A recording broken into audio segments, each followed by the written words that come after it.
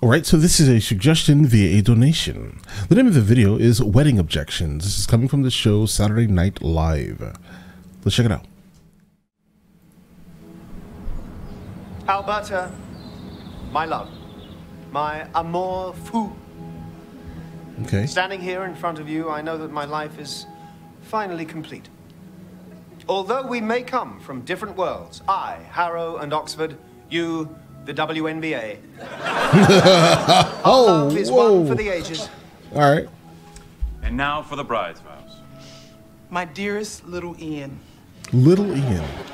before I met you, the only time I felt truly alive was when I was out on the court, throwing elbows, pushing, Right. fouling out in the first quarter, wearing my plastic face mask, and laying sisters out.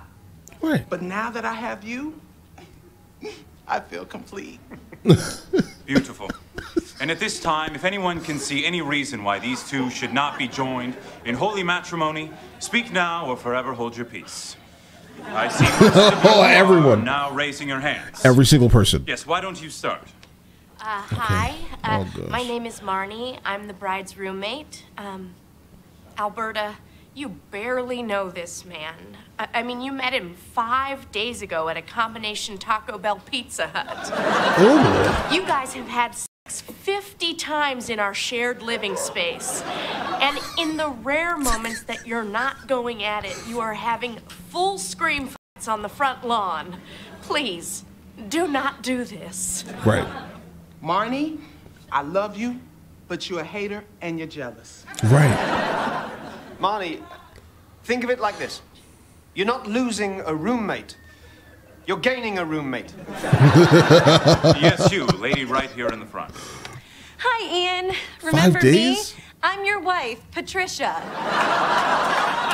Quick question. Why are you throwing away our marriage like this? And to that, I reply, I'm not throwing anything away. Okay. I'm throwing a clutch three-pointer right at the buzzer, and that's happiness. It looks like we've got a line of objections forming in the aisle. No, Go ahead, I- step up. bro.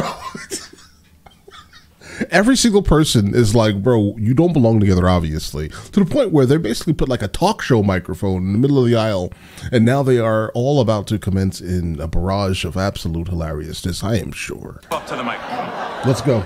Uh, yeah, I'm the father of the bride. Damn it, Alberta. Does this white boy know how many kids you got?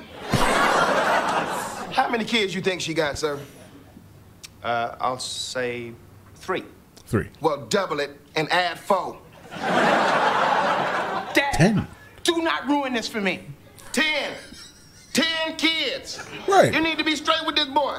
He just adopted the Wu-Tang Clan. Oh, oh, Sir, oh, sir, thank you for your concern. right. Your daughter did actively deceive me in this matter, but I deceived her as well. Alberta, I am not the King of England. And the only castle I own is a white castle. We good. Right. Who White is Castles? the next dummy? Uh, yes, hello. I am an emergency room doctor, and Okay. a few days ago, this man was admitted to my ER with what I can only describe as a shattered penis. That's my bad, sorry. Oh. And after about 10 hours of surgery, I was able to reconstruct it. Uh huh. Yeah, mostly. Mostly.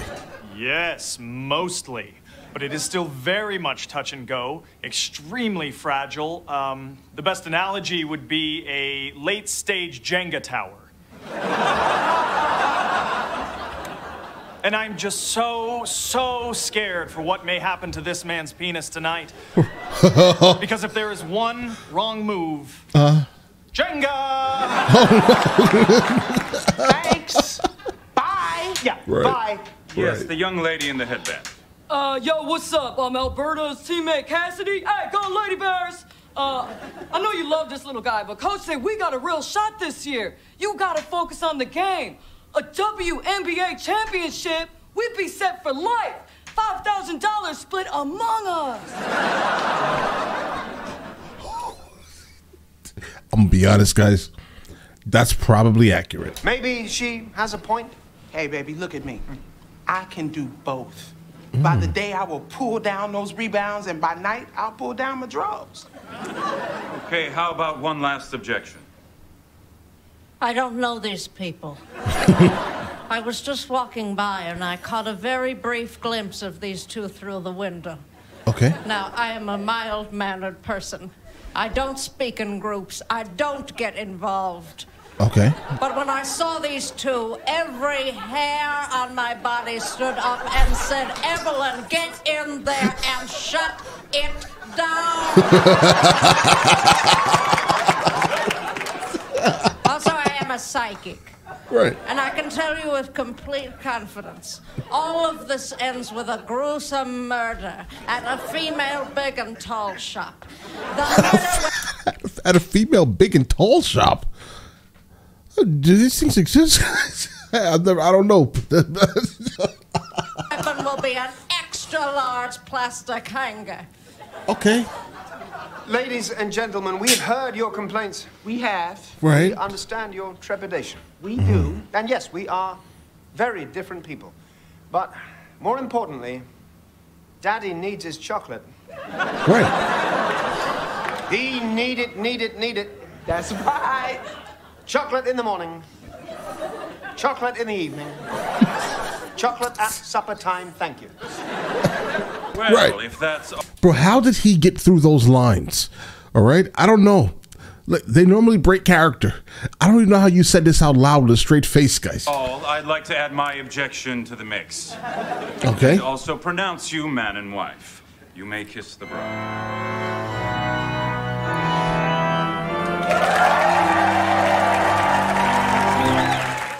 Okay. All right, guys.